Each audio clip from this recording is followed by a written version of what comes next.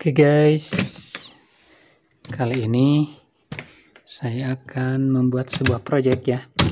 Oke, di sini udah ada kardus-kardus dari PCBWay yang berisi beberapa PCB dan oke, kali ini saya akan membuat nah, ini dia saya akan membuat ini namun ini kemarin ada sedikit kesalahan.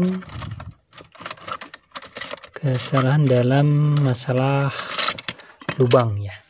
Dan saya akan membuat yang ini nih. Versi pembaruan yaitu lubang untuk untuk apa namanya? Untuk baterai ya. Ini untuk baterainya jadi untuk baterai RTC dan ini udah diperbarui ya untuk modul oke. Okay? kita lanjut. Ini dia modul RTC yang akan dipasang pada PCB yang dilubangi tadi. Jadi lubang itu untuk lubang baterai ya. Nah ini dia. Nah PCB ini sudah saya sesuaikan dengan modul Matrix Max 7219 ya Oke, kita kita lihat untuk IC-nya. Nah, ini dia. IC Max 7219. Oke, ini sudah saya sesuaikan dengan dengan modulnya ya. Ini PCB-nya. PCB controller dan ini pinnya. Pinnya udah saya sesuaikan dan untuk ini juga lubang oke? Okay? mari kita isi PCB ini dengan komponen-komponen yang diperlukan. Oke okay, ini dia. Ini dia sudah terisi beberapa komponen di antaranya ini untuk tombol menu dan pilihan. Dan ini RTC DS 3231 ya. RTC DS 3231 SN. Oke, untuk bagian yang menghadap ke matrix ini Atmega 328 dan beserta pendukungnya, oke. Jadi ini nanti tinggal tancap. Nah, seperti ini. Oke, sudah cukup seperti ini dan ini supaya tidak goyang maka harus dikasih spacer ya. Pertama-tama saya akan lepas ini dulu. Oke, dan ini saya akan pasang di bagian atas karena ada tombol di bagian atas jadi harus kuat ya.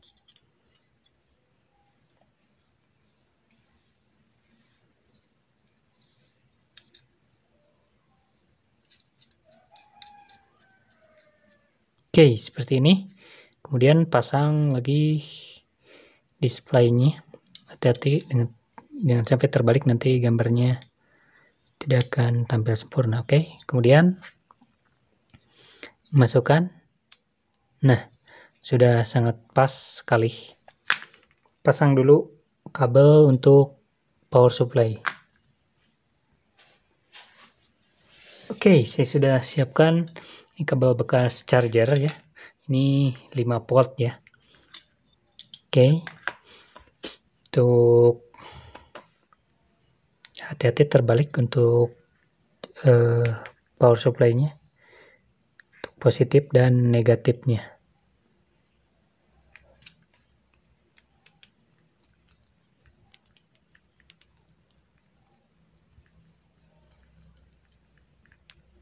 Oke, cukup kemudian kita masukkan ke modul. Tinggal plug and play aja. Nah seperti ini. Kemudian kencangkan bautnya.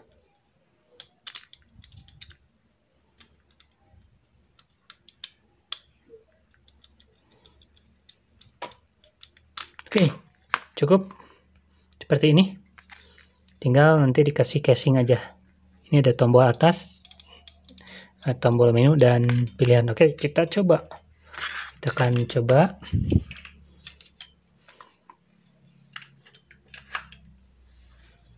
Nah. Oke ini dia. Jam saat ini 16.51 ya. Oke kita matiin dulu uh, nyala lampunya. Oke kita nyalakan lagi. Oke, ini dia. Bagus. Ini untuk jam saat ini Jumat tanggal 16 Juli 2021 ya, jam 16.52. Oke, kita masuk ke setting menu. Kita coba ini untuk menampilkan tanggal secara instan ya. Kemudian ini untuk menu untuk pilihannya basic ya untuk yang saat ini basic. Untuk small. Nah ini small ini tampilannya seperti ini. Ada jam menit dan detik ya. Nah ini jam menit dan detik. Oke masuk ke slide. Dia akan bergeser. Nah ini seperti basic tapi keren ya. Jadi setiap perpindahan perpindahan jam menit dia akan slide. Nah seperti ini. Oke. okay.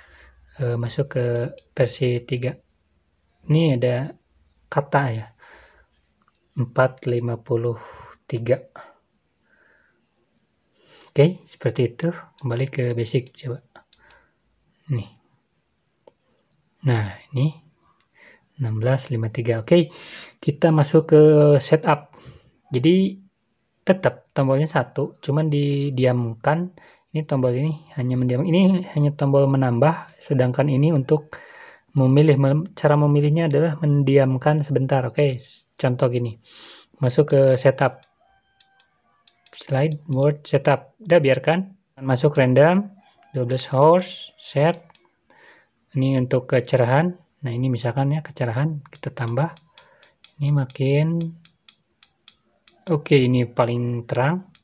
Ini Nah, ini seperti itulah. Ini paling terang, oke. Okay? Nah, ini terang ya. Tuh, kita masuk ke setting jam, tanggal, dan sebagainya. Oke, okay? kita masuk setup. Nah, setup biarkan dikit. Masuk ke set.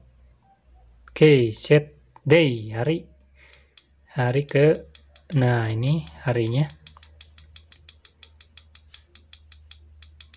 Oke seperti itu.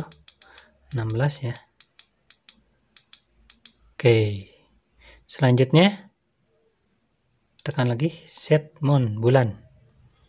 Bulan 7 ya. 8 9 10 12 1 2 3 4 5 6 7 oke masuk lagi set years.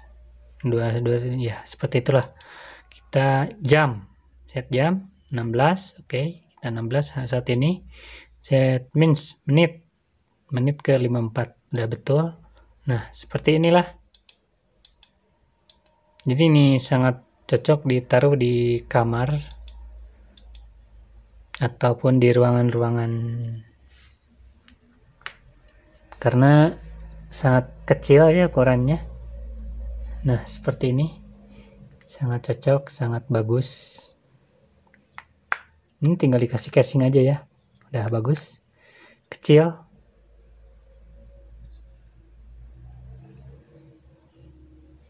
Mantap. Oke terima kasih telah menonton. Sampai jumpa